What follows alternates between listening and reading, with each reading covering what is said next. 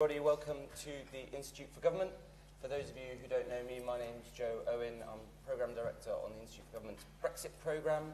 We are very pleased to welcome you here this morning for this event on the Withdrawal Agreement Bill.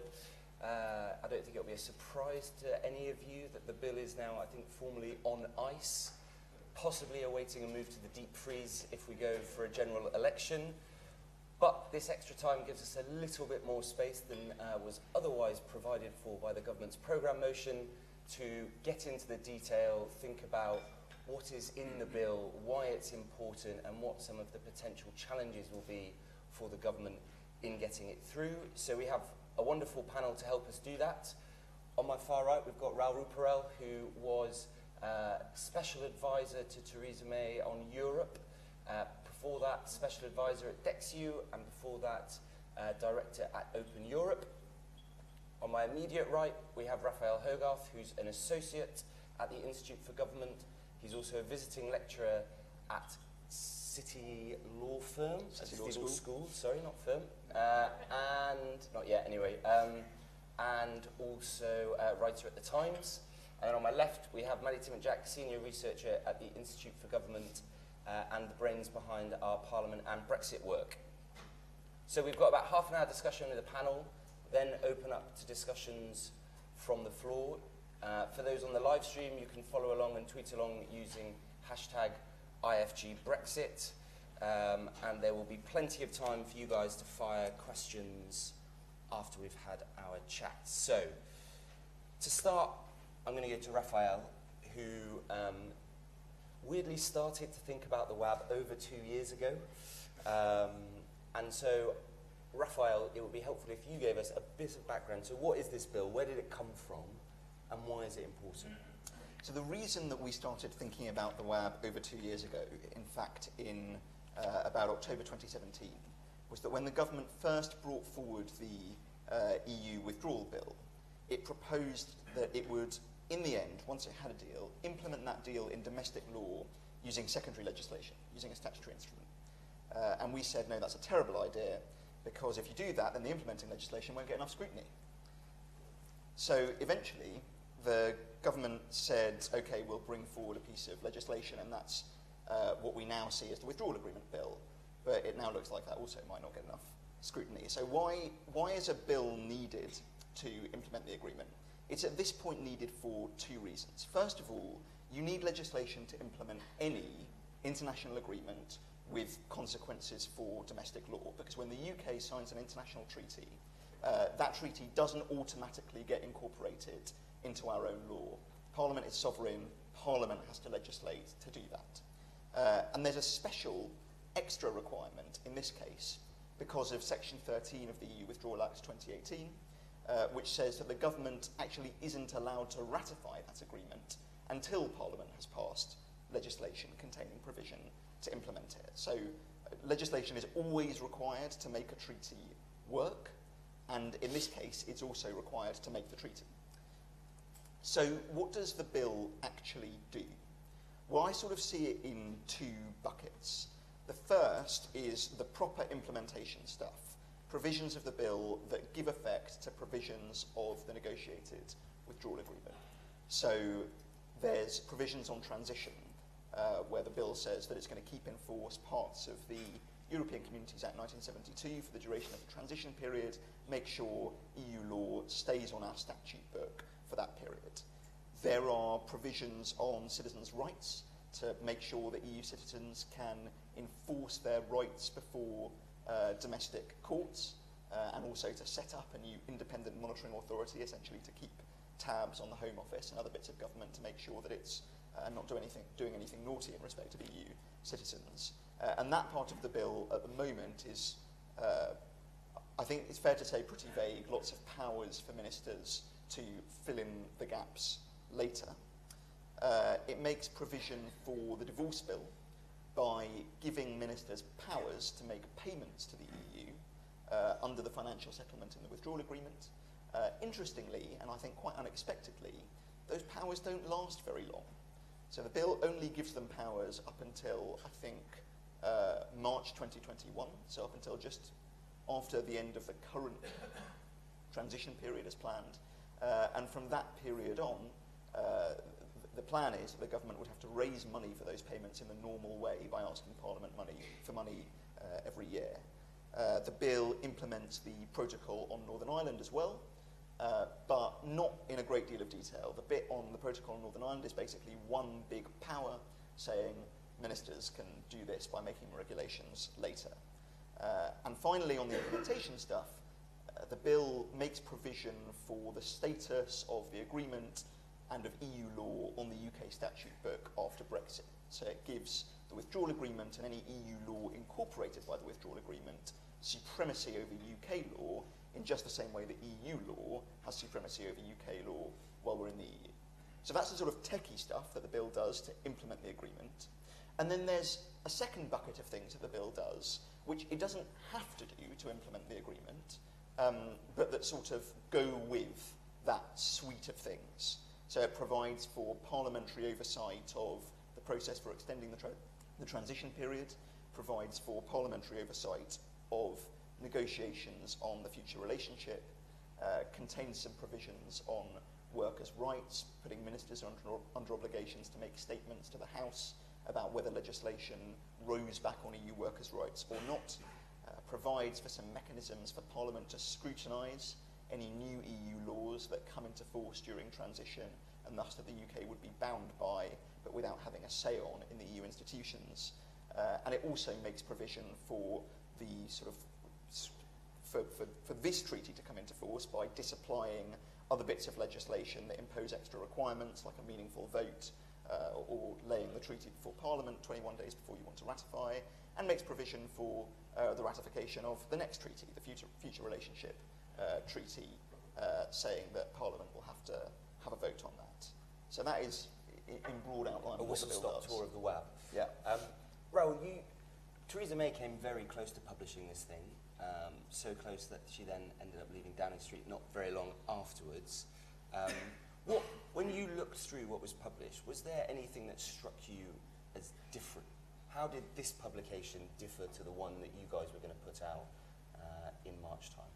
So I think a lot of it is very similar. So I think uh, Raphael's right in terms of the very broad powers it takes. I think in many cases, you know, our assessment was that there's not a whole uh, number of ways you can do this really because the implementing legislation on some of these things needs to be incredibly detailed and so it is better suited to secondary legislation. But you're right that those are some very broad powers and I think in particular cases there are questions how they should be deployed, how they should be scrutinised and I think that's the type of thing Parliament is looking to take more time to look at. The bits that struck me as being different um, or sort of uh, di diverging from the approach we took, um, the Northern Ireland Protocol in particular um, was an interesting one, not because it is a single broad power, which it is. Um, actually, I tend to think, again, there's not many other ways you could do that, particularly given this draft of the Northern Ireland Protocol leaves a lot of details to be fleshed out down the line, so you simply have to wait and see exactly what the detail is going to be but because it removed a lot of the um, guarantees that the previous government had given to the DUP about unfettered access to the GB market, uh, about having a say on any new rules that are incorporated into the backstop, um, which the Joint Committee has to approve. You know, the previous government in January we published a paper setting out how we would involve Stormont and the Northern Ireland institutions in that process. That has not been included. So there were guarantees for the DUP in your version that didn't Yeah. make it through to the And, and even the early guarantees, not the, not the last ditch guarantees we gave in, in March and, and uh, that final, final um, approach that uh, the, the Prime Minister at the time set out, but the ones we gave in January as well were not included. So I think that's interesting and I guess indicative of the distance that has been put between the Conservative Party and DUP on this, on this point. There are a few other interesting differences. One is, uh, as Raphael flagged on the financial settlement, the sort of time limit, which is not really a time limit. Uh, you know, it's a bit arbitrary. It sort of sets out that this power ends in uh, March 21, but it can be extended by regulation, so by, by a statutory instrument, uh, but also Parliament can go back to the normal way of, of funding a requirement. So it in no way avoids paying the financial settlement, but it it, it just sort of means the way that it is paid could change. So this seems like it may be something there just to sort of issue a concern and show to the backbenchers, yes, we don't love this, but um, you know, it's something we have to do. Uh, in terms of some of the other differences, it does set out, you know, protection of workers' rights. Again, it doesn't go as far as, as the government, the previous government was looking to go in terms of, um, you know, protecting those workers' rights. um, and um, you know the offer that was made in the cross-party talks. If you look at uh, also the what's in the, what I guess is known as the Snell-Nandy clause, so the um, uh, oversight of the future negotiations, uh, it is inserted quite interestingly that any any sort of mandate handed down by Parliament has to be in line with the political declaration. Now, that wasn't something we had envisaged, partly because we didn't think it would get through, um, and I, I, I expect it won't get through this time. So, if, when the bill, when and if the bill does come back to be looked at by Parliament, I expect that bit to be changed. So, those are some of the key changes. But on the whole, I think the, the broad approach is right, and I think. You know, there is, there is a question about these broad powers, and, and everyone knows they're not ideal. But I think, to be fair to the government, we spent a lot of time looking at this, and even when we had more time, the approach would have been very similar in general.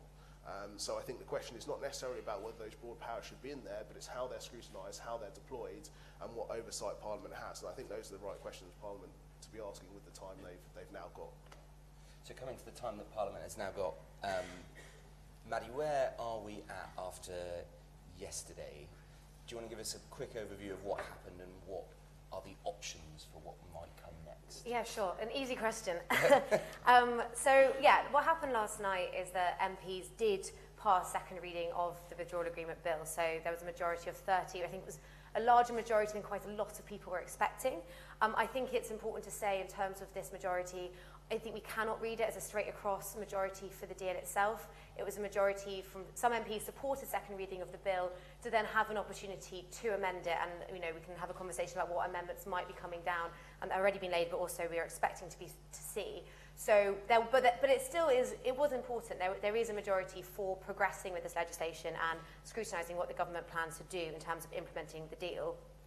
Obviously, what also happened was MPs rejected passing the programme motion. And the programme motion would have essentially uh, forced the Commons to rush through scrutiny of this bill so that they'd have finished with all stages of the Commons by Thursday so it could go over to the Lords. And the plan was to try and get to a position where they could pass this legislation before the 31st of October. So that could be the, the date that the UK um, left the EU.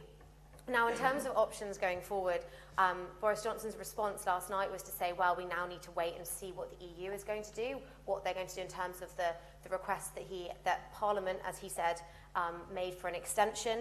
uh, I think the, his sort of two options, um, while sort of in terms of what happens when, when the next steps, I think will depend on what the EU does say. So last night, Tusk tweeted out, and a lot of people re responded by thinking that the EU was willing to then accept this extension request that Parliament made until the 31st of January. But this morning, there's a, there's a bit more uncertainty, and I think it, it will all depend on what the EU says. So if they come back saying actually they'd either offer a sort of two-stage extension where the UK could leave sooner if they passed the withdrawal agreement bill or until the 31st of January, then we might see the government want to return to passing the withdrawal agreement bill. But if they say that they want something longer, then that it, we can imagine the government might be more tempted to go for a general election. Um, and I think that when, in terms of the sort of timetable for passage of the withdrawal agreement bill, um, Jeremy Corbyn did respond last night saying, look, we are willing to talk with the government and agree a sort of sensible timetable for passage. Um, and again, if the EU comes out with a shorter extension, we can imagine the government and, and the opposition will be forced to discuss that and try and agree that. Um, it's worth saying that even if Boris Johnson does want an early election, then he does still need to, under the Fixed Term Parliaments Act, get a two-thirds majority in the House of Commons in favour of an early election motion. Um, and again, a lot will come down to what opposition parties decide to do with that. Um, there have been some discussion of ways around that for the government. They could, for example, table a vote of no confidence in their own government um, to seek a simple majority there, and if they sort of abstained on that vote, um, then, uh, then the vote of no confidence would pass. Um, or they could try and pass a sort of one-line bill or a sort of short bill to say that they want to hold an early election on a specific date, sort of notwithstanding the terms of the Fixed Term Parliaments Act. But that again would need a simple majority to pass um, and would be open to amendment in the Commons and the Lords, so it's not straightforward. So to be honest, it feels like at this stage there's still so much could happen, but it is worth saying, you know, that the government hasn't pulled the withdrawal agreement bill. As Joe said, it is on ice, um, and, and we really might see it come back much sooner than some people expect. Well, if you were still in number 10 and you have, there's basically this choice between trying to muddle through and get the bill over the line now or to go for an election, what would you be, what are the things that you would be weighing up in trying to come to a decision on that?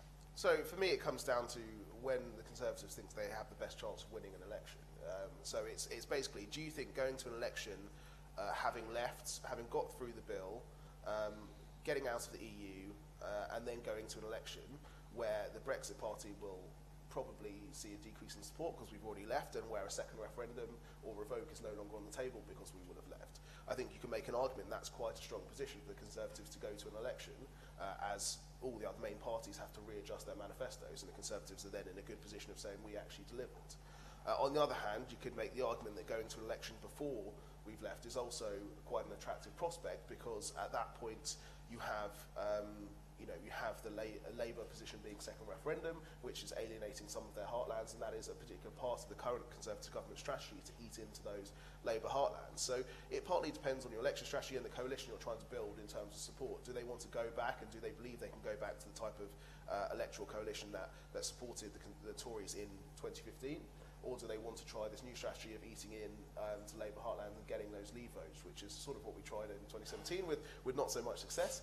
Um, but uh, I think that is, that is going to be a big part of the calculation, and that then filters through into what you're willing to accept in terms of the bill. You know, if you really just want to get the bill through, get out, and then have the election, you might be willing to wear some amendments, but then try to undo them when you have the majority. So I think for me now, I'd be saying this comes down to what the electoral calculation is, and, and obviously that then comes down to a lot of what you know the polling and focus groups are saying, and it's all quite fluid at the moment. So it is a it's a very finely balanced calculation. And if you were to go for the, the bill option and to say, right, we'll just try and muddle through and get this piece of legislation over the line and then go for an election, how long do you actually think you would need to give if it came back round to conversations about what is the right amount of time that we need to give in order to pass the withdrawal agreement bill and what are some of the kind of approaches that you would need to take in kind of dealing with amendments like you said you might have to wear a few uncomfortable Well, look, I mean, it's when we were looking at this back in uh, back in the day, we were thinking you need quite a few weeks for each house. Now, I'm not sure it would quite go that far. We saw some briefing yesterday. The Labour whips said they were would have been willing to agree to seven or nine days, I presume, just for the Commons. So, I think you're probably looking at giving seven seven to a week or ten days in the Commons, and probably similar in the Lords. So, you're looking two or three weeks to try and get this get this through both houses. Uh, maybe a few days for ping pong. I think that would be a reasonable timetable and would be quite hard for um, for anyone to disagree with, particularly if you're allocating long sitting hours uh, and there isn't really much else going on in Parliament. Obviously, we still have the issue of the Queen's speech knocking around, but basically, you know, you're allocating all the time time to that. I think that would probably be quite hard for Labour uh, and the other sides uh, to reject. In terms of the amendments, I think you're then looking at what are the truly wrecking amendments are the truly ones you cannot live with. And I think the only one that really is, is around that, that fits that bill is the second referendum. I think given the votes we saw last night, it's hard to imagine there being a majority for a second referendum in the House now. You know, if you look at the people, the MPs that supported second reading, I think most of those, that sort of coalition of numbers would hold up against the second referendum. Um, and then in terms of the other amendments, the big one is the customs union. And I think that really is a question of whether the government believes it can it can pass the bill with a customs union amendment while holding the narrative of saying, look, we're accepting this, but we're going to go to an election to fight on this issue, fight on what the future relationship should be, and try and win a mandate to change that. Um, it will cause problems with the ERG and, and the hardliners. They may, they may not want to see a bill passed that has a customs union in it, but again, it's a calculation for them. I mean, a lot of them will be under pressure from the Brexit Party in their seats. And so actually getting Brexit done and being able to use that as an election might be an attractive prospect for them in terms of the, the electoral calculation. And then all the other amendments, I think, in the end, you know, about the government has already basically conceded a lot of them in terms of accepting the vote on extending the, the transition period, um, workers' rights, uh, and oversight of future negotiations. I think that the, these basic principles have been accepted. It's about the exact wording, and there will be some tweaks. But, but on the whole, I think those won't be huge flashpoints. Raphael, both in terms of kind of amendments, but also just what is in the bill already, and um, you touched on some of it earlier around the financial settlement and the powers there kind of sunsetting in 2021. I mean, are there, is there a risk that the passage of the bill, whether through amendment or just what's in it and what is acceptable now, stores up problems for the government further down the line, perhaps domestically, but also from an EU perspective? Yeah, I, I think there are sort of three sorts of problem that could be generated by uh, Parliament not properly doing its job over the bill or scrutinising the bill. The, the first of which is the UK's compliance with its international obligations. So this is a bill to give effect to treaty obligations, which are international law obligations. Um, and that means that what's in the bill and what's in the treaty have to match. Uh, and I think that's true particularly over the financial settlement, as you say, where EU partners will be watching very closely to make sure that there's sufficient domestic legislative provision that they can be confident that the UK is always going to pay the bill. Uh, also over citizens' rights, uh, making sure that uh, there's sufficient provision there, especially when a lot of the provisions in the bill at the moment leave a lot open in terms of powers, uh, and in particular on the protocol on, on Ireland and Northern Ireland. Um, so, so, so that's one thing, making sure that the bill doesn't put us in a position where we might be breaking international law. And that, that matters for two reasons. Breaking international law matters firstly because it's very long-standing UK policy that the UK is a good international citizen, a defender of the rule of international law, and it enforces that on other countries worldwide, saying, we abide by international law, you had better do so as well, and that's a sort of important part of UK foreign policy. Uh, but also just from a more kind of cynical, uh, mercantile perspective, if the UK is about to go on an international charm offensive, trying to sign uh, a load of new trade agreements and other agreements with potential partners, then it needs to be considered a credible partner. Uh, and if you mess up the domestic implementing uh, legislation such that you can't give effect to your obligations, you're not a credible partner. Uh, so that's sort of problem type number one. Problem type number two, I guess, is just certainty and making sure the statute book works properly. Um, and this is the stuff where sort of time for scrutiny really matters because uh, even if MPs have, say, two weeks to come over the detail of the bill, uh, what you really need is to make sure that committees, committee clerks, committee experts, some of whom I can see here today, and also the wider kind of expert community, lawyers and policy experts, have time to make sure that there are no legislative gaps. Um, and those aren't just sort of techie worries that uh, that lawyers like to get all het up about but don't make any difference to people in the real world. They make an enormous difference to people in the real world uh, because of the fact that if you're a business trying to make a decision or you know, do a deal, then you need to know what rules you're regulated by, what the scope of those rules is, which rules take precedence over which other rules. Uh, and really, Parliament doesn't always get that right. You know, the European Communities Act 1972, which was the equivalent piece of uh, legislation for the EU treaties was still being litigated in respect of the supremacy of EU law 20 years later because people were not exactly sure what those provisions meant, what Parliament had intended. So it, you know, it really matters getting that right to make sure people aren't having to spend a huge amount of money for years on legal advice that still doesn't give them a firm answer about what they can and can't do. Um, and, and then I suppose the final potential type of worry that you can store up if you don't do this properly um, is you can just deepen the animosity between government and parliament. Uh, it, you know, as, as I mentioned, as Raoul mentioned, the government does attempt to take a lot of powers in the bill, and at this point it's difficult to work out, you know, before we've had a really forensic close look at it, uh, whether those powers are absolutely reasonable, uh, only as wide as they need to be, with proper scrutiny provisions, only as numerous as they need to be, uh, or whether these are unnecessarily extensive, uh, unnecessarily broad and without proper scrutiny provisions. And if they are the latter, uh, then in a couple of years down the line, the government might be trying to change the law by making regulations. Parliament saying, hang on a minute, those are policy changes that you're not letting us scrutinise, uh, and that's not good government, and when it comes to it, not very good politics either. And that was the big source of battle, basically, on the EU Withdrawal Act, the so-called Great Repeal Bill, right, all around the use and putting safeguards in around these powers. Absolutely, you know, the, the development of a sifting uh, system in Parliament to make sure that uh, where the government was trying to use powers under the EU Withdrawal Act, they were going and, and in, in such a way as to, uh, in, in such a way that Parliament would essentially want to scrutinise the use of those powers, uh, then MPs would have an opportunity to look at and potentially debate what was done. And, and there are problems with, this, with the sifting system that was developed for the EU Withdrawal Act, which I'm sure Maddy can talk about.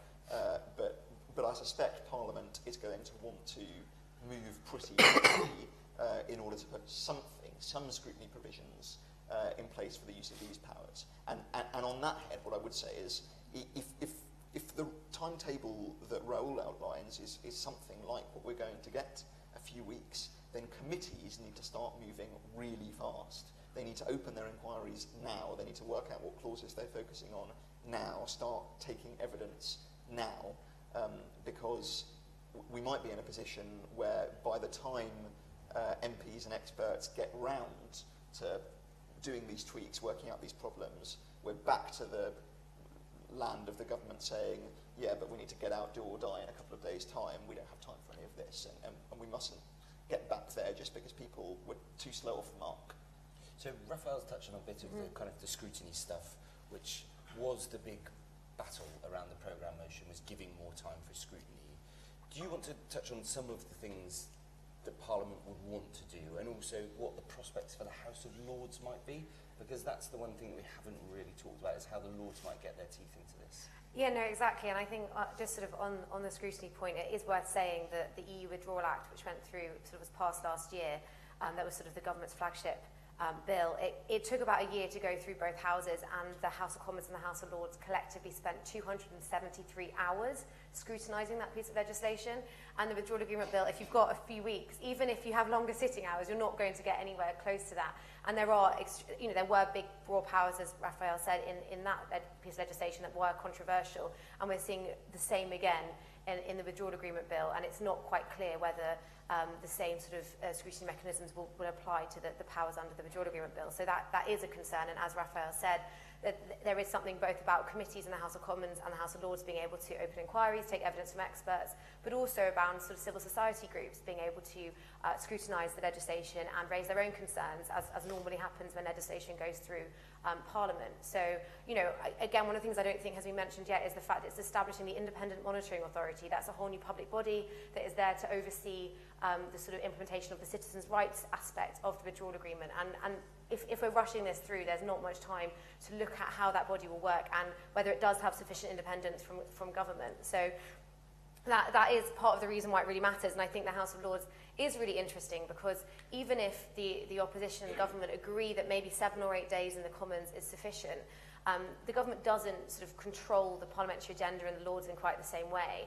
Um, they do often agree sort of timetabling for legislation, but their government doesn't have a majority in the House of Lords. And if they end up trying to resort to something like a business motion, which is what the Lords ended up passing in September to be able to rush the Ben Act through, um, the government doesn't have a majority there. So it might be much harder to get the House of Lords to agree to, to rush this legislation through.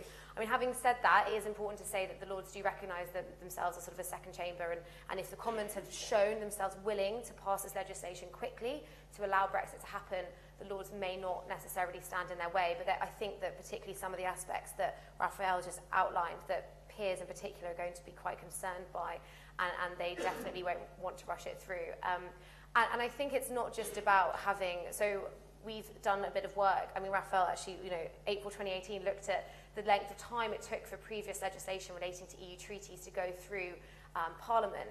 And, you know, there's sort of one chart that says the Lisbon Treaty, for example, I think took 25, 26 sitting days. But if you actually look at how long it took in terms of time, it was close to 200 days because actually it was about having time between each stage of the bill's progress to reflect on what happened and to again assess whether amendments have gone down, how those work. It gives time for committees to report.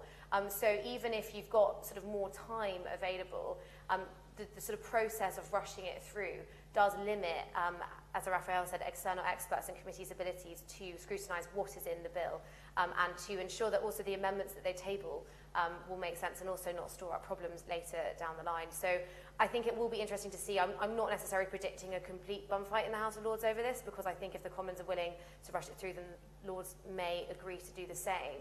But at the same time, uh, I, do, I do think there are going to be some serious concerns. And, and it isn't the way that government should be passing such a constitutionally significant piece of legislation. I think some people have said, well, look, this withdrawal agreement, the majority of it, apart from the Northern Ireland Protocol, is basically the same as the withdrawal agreement that Theresa May negotiated, which we've seen since last November. But we never saw the bill that was going to implement this agreement. So we never knew quite how the government was planning to do that. And maybe if May had ended up, uh, Theresa May had ended up publishing withdrawal agreement back in May, then that would be a sort of better argument to say, okay, fine, we've seen most of it, we can, we can move forward with it. But we haven't. And, and so, you know, it was published on Monday, and the idea that Parliament was going to pass it all by next Thursday um, was, yeah, it was sort of incredible, really, because you just have no idea what, what that might, the problems that might store up, as Raphael has already outlined.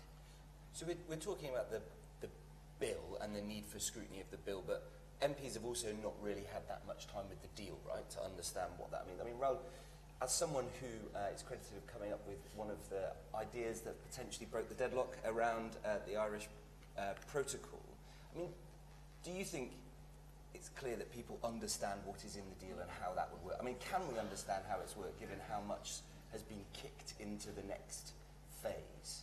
Um, no, look, I think it's, it's a fair point. There is a lot of misunderstanding about the deal, I think, both within government and within the House of Parliament generally. I mean, I remember when you know, we got the deal um, and we organised a series of briefings for MPs from people who had helped negotiate deals, such as myself and some of the officials and uh, some of the other senior advisors. And we went to Parliament and hired a number of rooms and tried to brief the MPs, and probably about six of them turned up.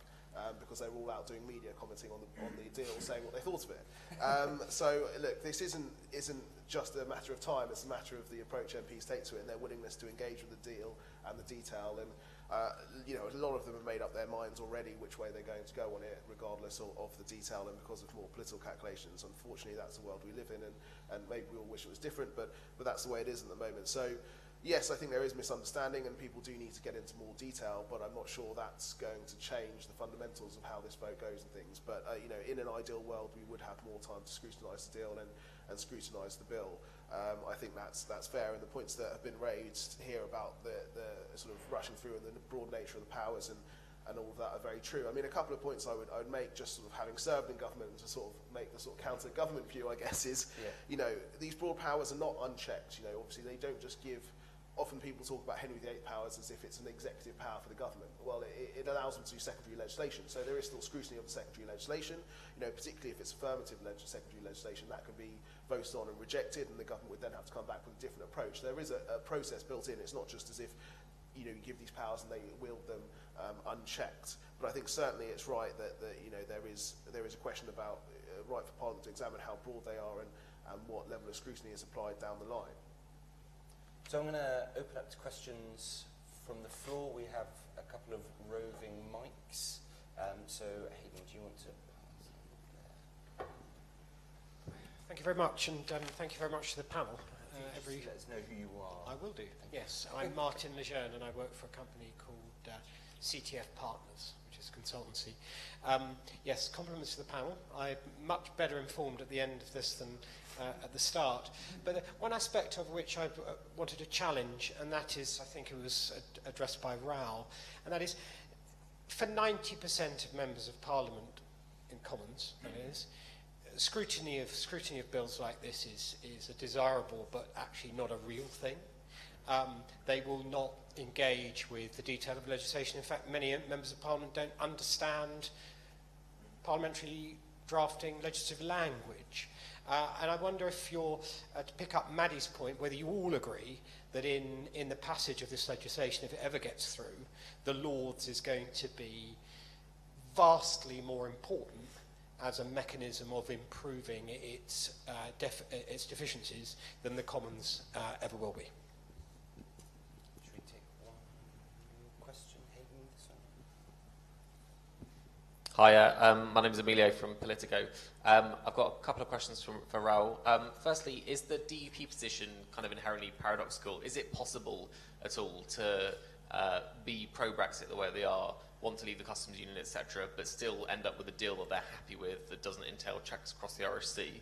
Um, and then secondly, from your experience, um, do you have a view on kind of why Boris Johnson managed to get to this point and Theresa May didn't? Is it something to do with timing, or is it something to do with people argue gender, etc.?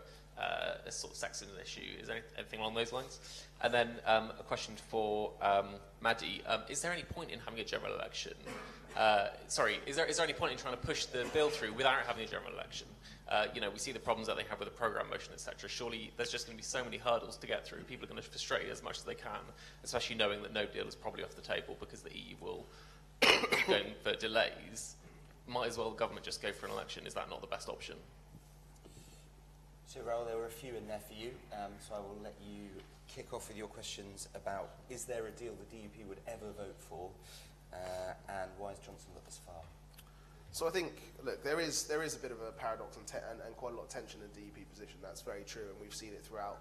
And having spent a lot of time talking to them throughout the negotiations, there certainly is a challenge. Um, it, look, you can question whether a version of the previous deal with some of the consent process attached, for example, might actually have been you know, quite close to what the DUP would have accepted um, and might have been more, more um, applicable to them, but we'll never really know.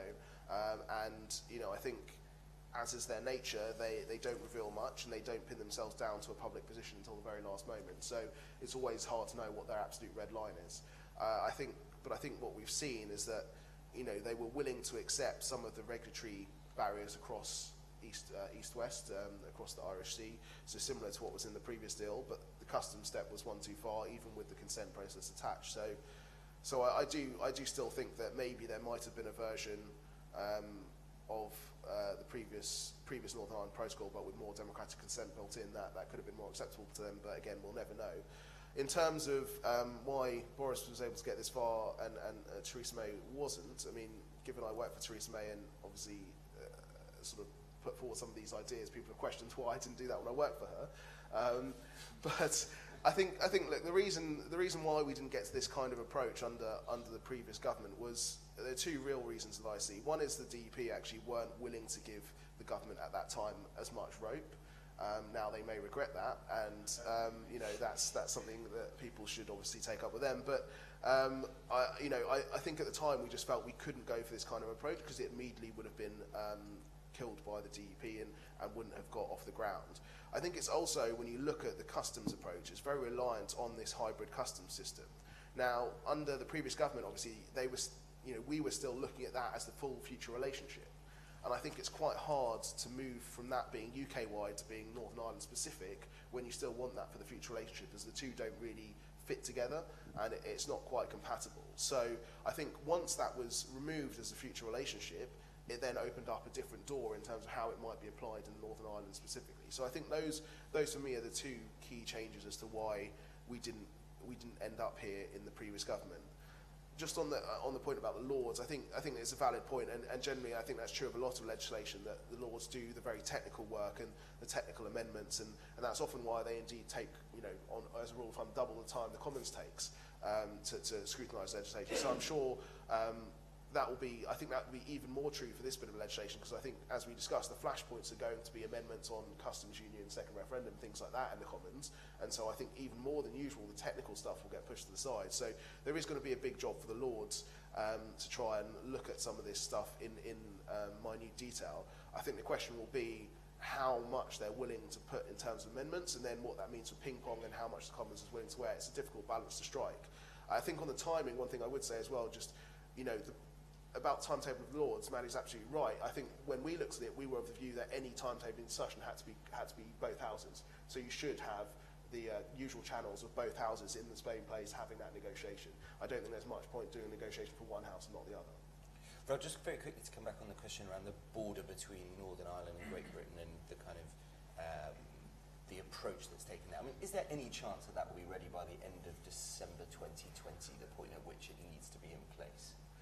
Um, it's a tricky question. Uh, look, I think it's going to be very ambitious. Let's let's put it that way. Um, you know, it is it is um, a, a very you know there are a lot of things that have to be constructed in terms of you know negoti- first of all negotiating the detail of how it's going to work. As Yeah. we've discussed, the protocol leaves a lot of that open. Uh, and then allowing businesses time to respond and implement that, and then implementing on the ground in terms of any, uh, you know, infrastructure that's needed at the customs customs post, you know, you have to create um, a, a BIP for the agri-food, which means all of the agri-food things can be checked. And you also have to then create the surveillance systems to monitor things on the market for the regulatory goods checks and things like that. So that is going to take some time. To be fair, I think, you know, this was true though of the previous version of the protocol. I think setting up the infrastructure even under that one would have taken quite a bit of time and there were very valid questions about whether that could have been done by the end of 2020. So I'm not sure this is a new problem but I think it is a legitimate question to ask. Uh, and you know, I think both sides have to engage with it. As can this realistically be up and running uh, by that point? And if it's not, what are the consequences? Now, obviously, if it isn't, um, I think the EU will have some serious concerns about whether its single market and its customs union is being properly protected and enforced. But obviously, from the UK point of view, you would think the concerns might be less, and particularly in Northern Ireland, the concerns would be would be less. Um, looking at the text of the withdrawal agreement and the protocol, the levels of enforcement that the EU have are, you know, uh, you wonder what what route they can take. Obviously, they can end up resorting to fining the UK for not adhering to the to the agreement.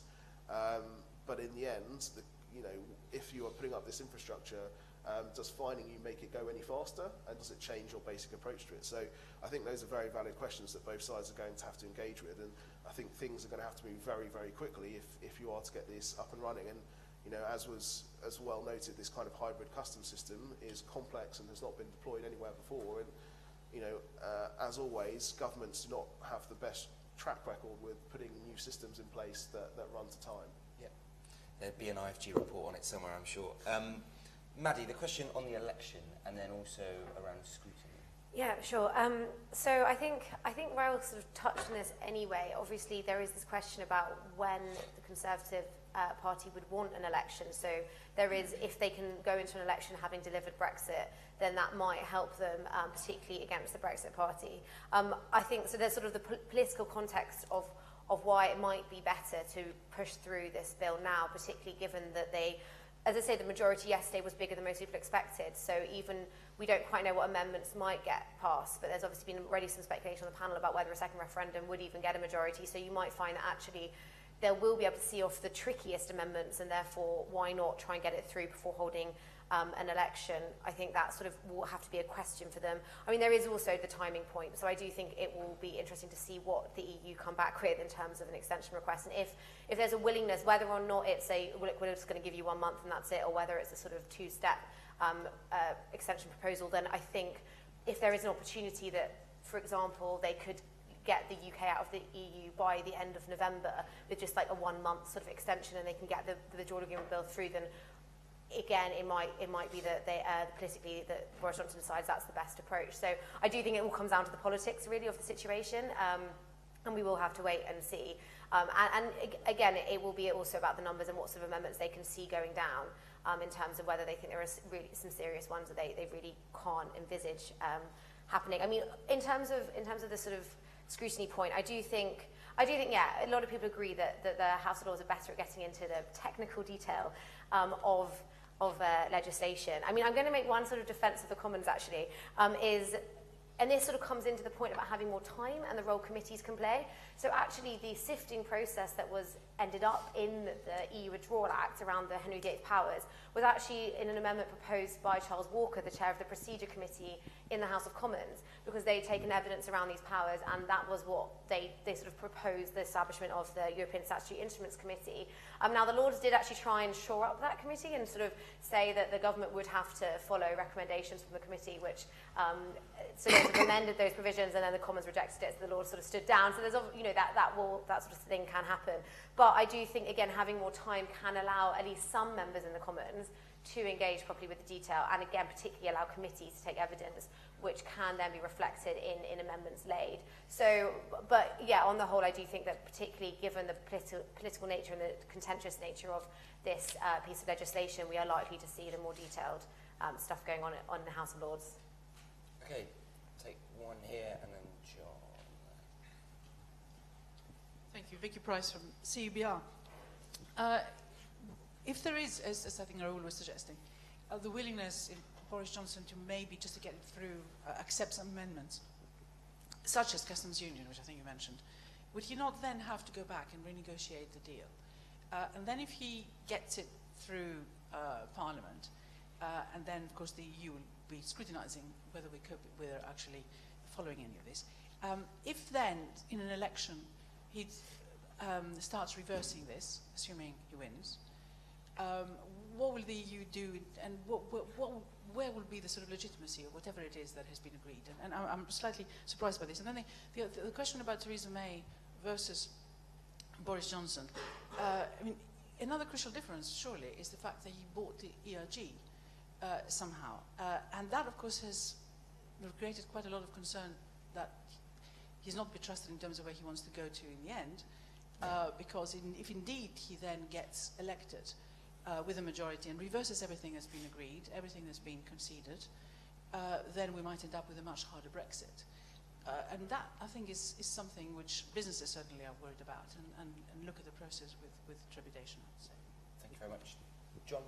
Uh, yes, uh, John Pete. Um, since this institute, like most sensible people, favours evidence-based policy making, um, I wonder what you think about the Chancellor's point-blank refusal to offer any kind of economic impact assessment of either the deal or the bill. And there's one just... I'm Patrick Lowline from Conservatives for People's Vote. Um, I'd like to point out it's quite interesting that the deal uh, passed its second reading yesterday, but many uh, MPs only voted to do that in order to prevent no deal. In fact, uh, some did it just to uh, be able to set amendments. What I would like to ask is what you think about uh, Johnson's decision to call a general election.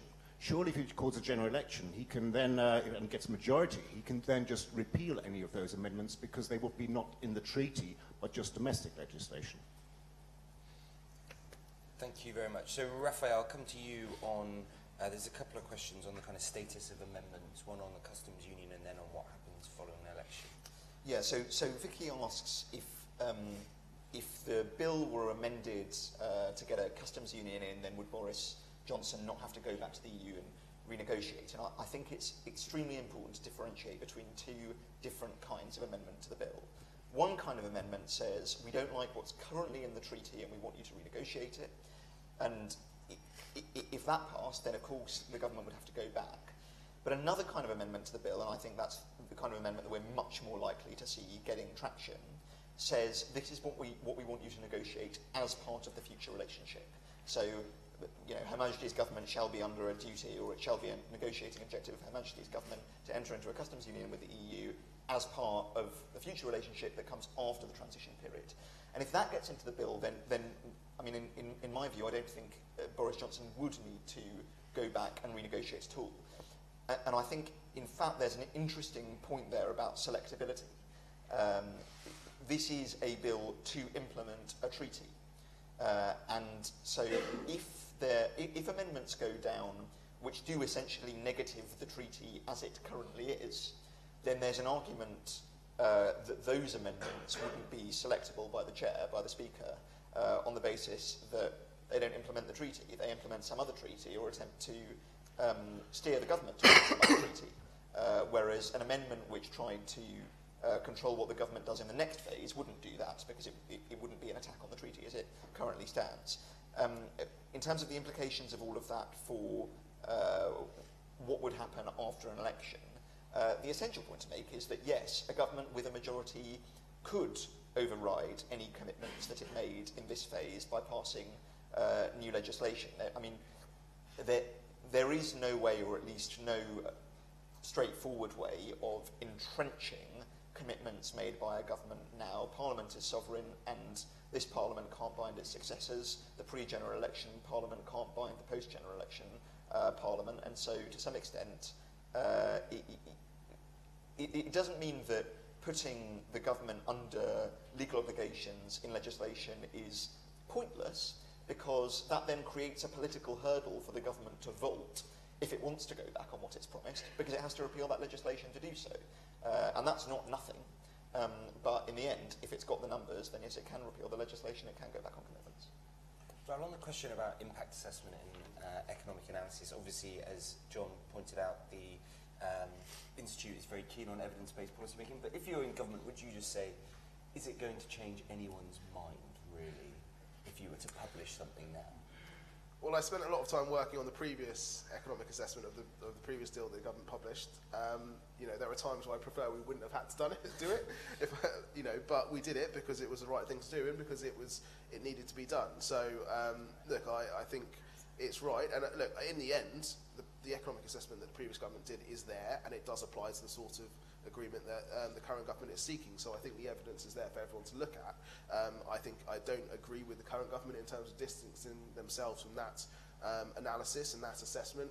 Yes, it's not perfect. You know, there are things it doesn't consider in terms of the policy response. That the government might do and, and the other approaches you might take to, to boost our economy. Uh, but that's true of most economic models. It, it looks at a particular thing about uh, how it moves from the baseline of the status quo of being a member of the EU, and that is a legitimate thing to look at. You can still argue that there are wider political goals and, and wider even economic goals that you might want to look at um, that this model doesn't take into account. I think, you know, there is some sympathy with the government in terms of the absolute nature of our debate now about economic models that uh, they're either perfect or completely pointless. No, they, they have use and they provide um, you know what the what the differentiation is from a baseline of the status quo uh, when you change these tariff barriers and, and change this this trading relationship. Um, but they don't pro provide the absolute answer. They're just one part of the debate, and they should be a valid part of that debate. In terms of just coming on to some of Vicky's questions about the customs union, Raphael's exactly, exactly right. And I think the Ken Clarke Amendment does take the sort of second approach you set out, which is mandating the future um, negotiating aim. Um, I think that doesn't require going back to the EU. And I think if we look, if we remember what happened in March, the EU was actually willing to allow the government to pass just the withdrawal agreement and not the political declaration. So I don't think we should overstate the importance the EU puts on the political declaration yes, it, it's there and it's a useful guideline for what the future can be, but actually, even now, it's very broad and there are lots of futures it can envisage. Um, so I don't think they're going to see that as uh, a deal breaker if, if the future approach changes now or even after an election. I think ultimately what will define the future is when both sides set out their mandates. So when the European Council hand down, hands down its mandate for the future negotiations and when you know, the government gets whatever mandate it has signed off by, by Parliament. Um, so you know, I, I, I think in terms of that, it doesn't. It's not a deal breaker. Just on the the Boris versus um, Theresa May points in the ERG, yes, you're right. That definitely was a defining point, and I think it's obviously linked to the DUP point because the way that Boris was able to achieve that was by dropping the UK-wide customs union um, to allow for the ability to, to, to ensure we can strike free trade agreements for for Great Britain uh, and obviously involve Northern Ireland via the hybrid customs approach. But that doing that opened the door to getting the ERG on board while also distancing the DUP uh, and taking a different approach on customs. So the two are sort of, I see them as two sides of the same coin, as a sense. Round of questions. One here. Thanks, uh, Chris Morris, BBC. Um, as, as discussed, the bill says relatively little in detail about how the protocol will be implemented, but politically, is it really sustainable as it becomes apparent that almost no political party or business group in Northern Ireland actually thinks it's a good idea? Um, and secondly, perhaps Raphael, what are the implications of this bill more broadly for devolved government?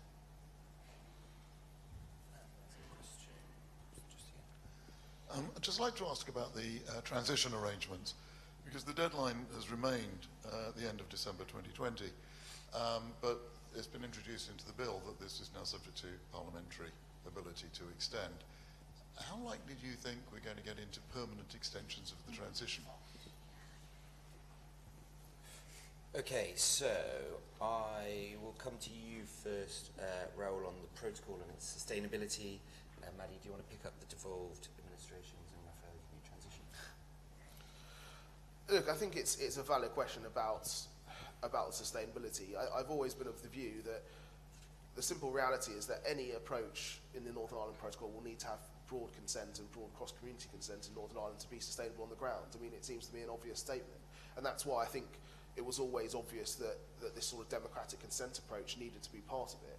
Um, and, and much the frustration, uh, I think, previously that it wasn't. I think your question now, I, I guess the question is whether the addition of that democratic consent process um, will help manage this kind of um, frustration. And, um, you know, I guess it can go either way. It depends ultimately whether you feel that, um, you know, it will generate a move from the unionists and the unionist business community to actually think, okay, in the end, this agreement is better than no deal, and therefore they'll move more towards keeping this in place indefinitely, which I guess I think is sort of where the DUP are concerned they will go, or whether actually it will be seen as such a big shift from the status quo for east-west trade that actually businesses, potentially on both sides, but particularly in the unionist community, will just not accept it, just not implement it. Uh, and then whether that makes it not sustainable on the ground. So I think at this early stage, it's very hard to say which way that community is going to go because, you know, I think we do need to see more of the details. And I think particularly this, this the stuff that's come out in the last few days about checks on Northern Ireland to GB trade is, is something that I was personally surprised by. I'm still quizzing government over whether that's actually required.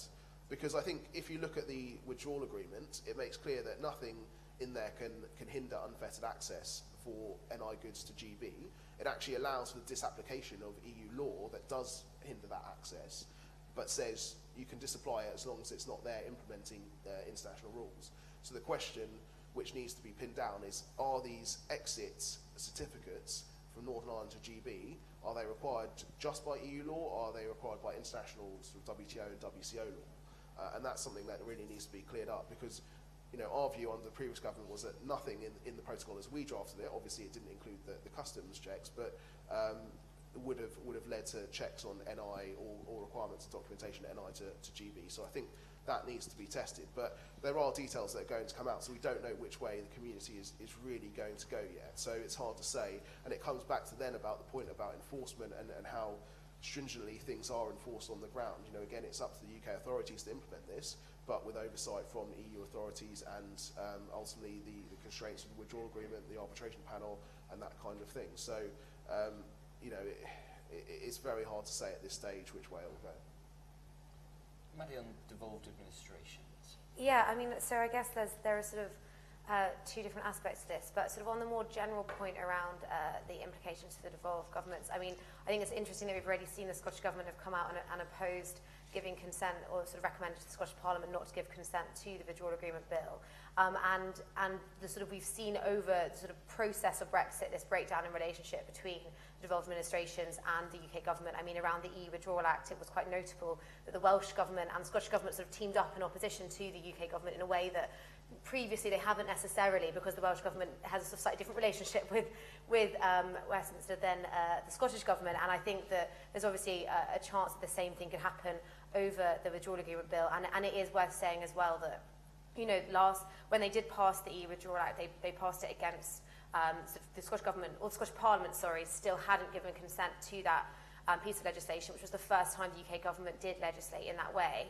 Um, and if they do end up having to do the same thing with the withdrawal agreement bill, I mean, you're going to see the sort of relationship breakdown much further. Um, and, and there's also the sort of wider point of um, the Scottish government being unhappy about the fact, as they see it, the Northern Irish have the sort of the Northern Ireland having a different relationship with the EU than the Scottish government have, Um, we've already got Scottish Government pushing hard for a, a, a second independence referendum, and I think that, that will only continue um, to, to sort of build. And, and I think there's, there's also just one of the things that we've seen um, through this process is because of the way uh, that the election in Northern Ireland played out, the 2017 election, um, we've had a sort of lack of nationalist voice for Northern Ireland in Westminster anyway uh, during this process. So we've got the Democratic Unionist Party, and we've also have um, Lady Sylvia Hermon, who's the only independent um, Northern Irish MP. And so I think that's also meant that the voices from the nationalist community has not been as present in Westminster throughout this debate. And, you know, Stormont Assembly still haven't, uh, they haven't resumed sitting yet. There's been over a thousand days. Um, and so it's sort of not quite clear how this will play out in terms of um, Northern Irish government if and when we get to the point where, where, where the protocol is implemented. Raphael on extension transition. Will we have permanent transition? So I, I think the, uh, the place to start is what the withdrawal agreement says, uh, which is that so transi transition as it currently stands is set to end at the end of December 2020, uh, but the UK and the EU can jointly decide to extend the transition period. They can do that once only, and they can do it by up to two years, and that decision has to be made by uh, the 1st of July 2020.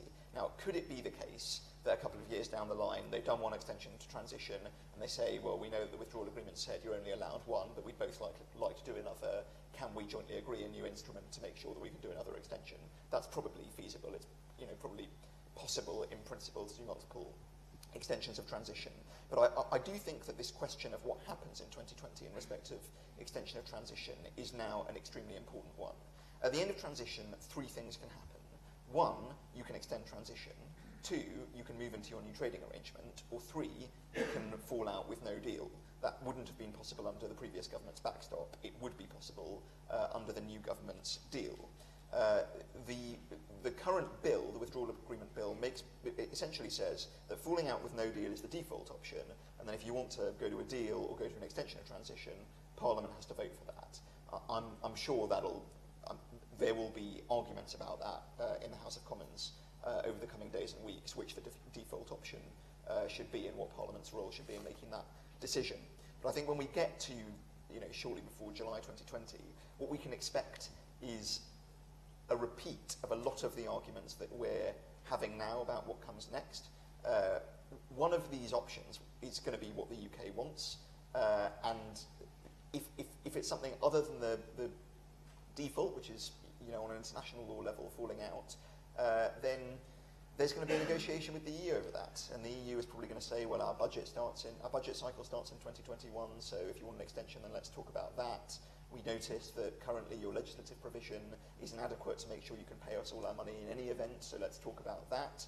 Uh, any other offensive interests that develop on the part of the EU in the course of the nego- negotiation over the next few months, they might try to sort of knock out by giving us what we want um, on transition at that point. You might see another joint report at which it tried, the EU sort of tries to claw back some ground.